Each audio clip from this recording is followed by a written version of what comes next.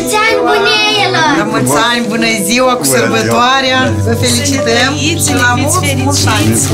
Cele mai frumoase amintiri merită sărbătorite. Iar cu indexarea de 10% din 1 ianuarie 2019, pensionarii cu venituri sub minimul de existență pot acum să se bucure mai mult decât în alți ani.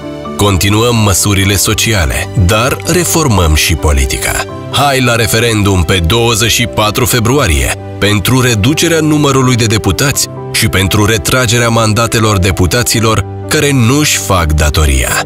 Pe 24 februarie, susține reforma Parlamentului la referendum. PDM pentru Moldova.